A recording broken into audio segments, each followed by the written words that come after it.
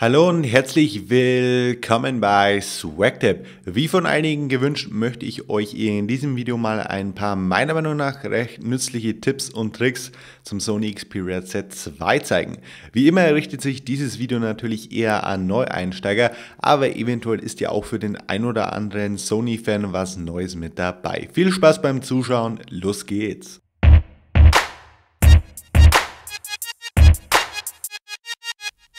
Eine Frage, die ich eigentlich echt sehr häufig gestellt bekomme, ist immer mal wieder, wie macht man einen Screenshot? Da gibt es natürlich viele verschiedene Möglichkeiten, aber die einfachste meiner Meinung nach beim Sony Xperia Z2 ist einfach den Volume Down, also den Leiser-Button und den Power-Button gemeinsam zu drücken und schon wird hier ein Screenshot aufgenommen. Ihr könnt raufgehen in die Benachrichtigungsleiste, seht das Ganze hier, einmal draufklicken, ähm, dann habt ihr natürlich normalerweise schon eingestellt, mit, welchem, mit welcher App das Ganze geöffnet werden soll. Klickt hier drauf und schon wird der Screenshot eben geöffnet. Das ist wirklich sehr, sehr einfach. Wie gesagt, man muss es aber eben wissen. Ähnlich wie auch schon LG oder Nokia hat nun auch Sony das Double Tap to Wake Feature implementiert. Was kann man sich darunter vorstellen? Man tippt einfach zweimal auf das Display, äh, wenn das Gerät gesperrt ist. Es wacht quasi auf und ihr könnt es direkt entsperren. Sperren kann man es dann ab Werk direkt nicht mehr, aber das ist definitiv ein nützliches Feature. Der Punkt ist aber, dass das Ganze ab Werk eben nicht aktiviert ist. Ich habe es in meinem Review schon gezeigt, dieses Feature, aber ich habe euch noch nicht gezeigt, wo ihr das Ganze aktiviert. Da Dafür geht ihr einfach in die Einstellungen. Dann ganz einfach zum Punkt Display, scrollt hier ganz runter und seht ähm, zum Aufwecken tippen, hier muss man den Haken machen und dann ist das Ganze auch aktiviert. Wie gesagt, wenn ihr euch das Xperia Z2 neu kauft, dann ist es zumindest bei mir so gewesen, dass das Ganze nicht aktiviert war. Man muss es also im Nachhinein erstmal aktivieren. Das nächste, meiner Meinung nach geniale Feature habe ich auch schon in meinem Review gezeigt, aber ich möchte hier nochmal etwas spezieller, etwas genauer drauf eingehen, weil ich es eben einfach sehr, sehr gut finde. Dafür gehen wir nochmal in die Einstellungen wieder unter den Punkt Display und finden hier dann die Option Weißabgleich. Was kann man sich darunter jetzt vorstellen? Nun, Sony bietet euch ab Werk die Möglichkeit, euer Display zu kalibrieren und zwar nicht nur mit irgendwelchen voreingestellten Modi, wie das zum Beispiel bei Samsung oder einigen anderen Herstellern auch der Fall ist, sondern ihr habt hier tatsächlich die Möglichkeit, die vereinzelten Parameter selber einzustellen. Ab Werk ist hier natürlich alles, sind alle Werte für Rot, Grün, Blau auf 0 gestellt. Ich habe den Wert für Blau dann von 0 auf 30 gestellt, äh, weil ich das einfach relativ gerne mag. Wenn der Weißwert etwas ins Bläuliche abdriftet, ist in meinen Augen einfach besser, etwas realistischer. Ab Werk ist er definitiv etwas zu warm eingestellt, aber das muss eh jeder für sich selbst entscheiden.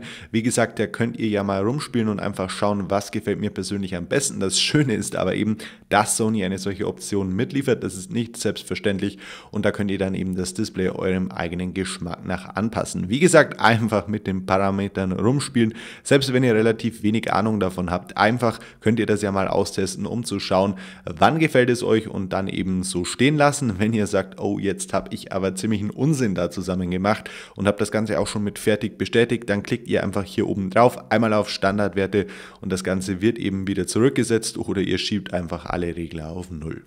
Weiter geht's wieder mit einem Thema der Personalisierung und zwar, ich habe euch im Review schon gezeigt, ihr habt die Möglichkeit natürlich hier das Hintergrundbild anzupassen. Da sind auch sehr viele schöne Hintergrundbilder dabei, aber das ist natürlich noch nicht alles.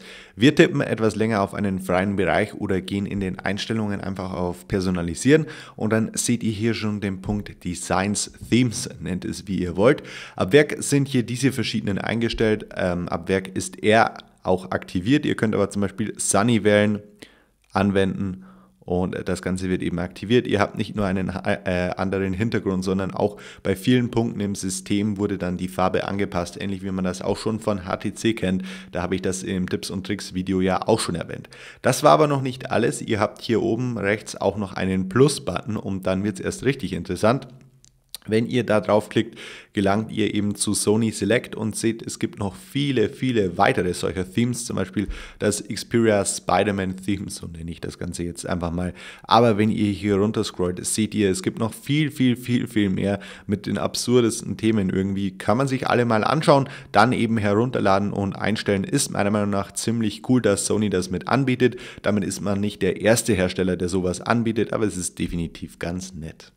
Zu guter Letzt möchte ich euch noch ein kleines verstecktes Testmenü zeigen, so nenne ich das Ganze jetzt einfach mal. Wie aktiviert ihr das? Ihr geht in den Dialer und tippt eben hier diese Kombination ein. Äh, könnt ihr das Video ja kurz pausieren und euch das Ganze abtippen und zu guter Letzt fehlt dann noch ganz normal ein Sternchen und dann startet dieses Menü auch schon automatisch. Kennt man so ähnlich auch von vielen anderen Smartphones, aber das gibt es eben auch für Sony Smartphones. Sieht doch relativ interessant aus. Was kann man hier jetzt machen. Ihr könnt zum Beispiel unter Service Info gehen und euch nochmal genau die Modellbezeichnung von eurem Smartphone anzeigen lassen oder Dinge wie Firmware-Version und so weiter. Das findet man aber auch in den normalen Android-Einstellungen. Das war aber noch nicht alles. Vor allem interessant sind die Service-Tests. Da könnt ihr einfach schauen, ob ganz normale rudimentäre Funktionen eures Smartphones oder einfach die Hardware, ob die problemlos funktioniert ganz gut demonstrieren kann man das unter dem Punkt Display zum Beispiel. Dann seht ihr schon mal ein weißes Bild, könnt schauen, wie ist der Weißwert oder hier grau oder schwarz, rot und so weiter. Und ihr könnt vor allem auch schauen, hat mein Gerät einen Pixelfehler. Dafür ist das Ganze relativ praktisch. Wie gesagt, wenn ihr fertig seid, einfach zurückgehen und euch das Ganze anschauen. Display war aber noch nicht alles. Es gibt hier Touchscreen zum Beispiel, ähm, wie ihr hier sehen könnt. Äh, verschiedenste Möglichkeiten, Mikrofon, Kopfhörer, äh, die Lautsprecher, Speaker, Kamera und so weiter und so fort. Also hier kann man wirklich nahezu alles testen. Ihr seht, jetzt startet eben die Kamera und ihr seht die Kamera funktioniert. Äh, WLAN, NFC und so weiter. Also wenn ihr mal irgendwie den Verdacht habt, WLAN funktioniert nicht oder mein Display hat vielleicht einen Pixelfehler und so weiter, dann startet dieses Menü, checkt das Ganze durch und ihr werdet jetzt sehen, ob bei eurem Gerät alles passt oder eben nicht. Ja Leute, das waren ein paar meiner Meinung nach recht nützliche Tipps und Tricks zum Sony Xperia Z2. Ich hoffe natürlich wie immer, das Video hat euch gefallen. Bedanke mich in diesem Sinne auch fürs Zuschauen und sage natürlich ciao, bis zum nächsten Mal.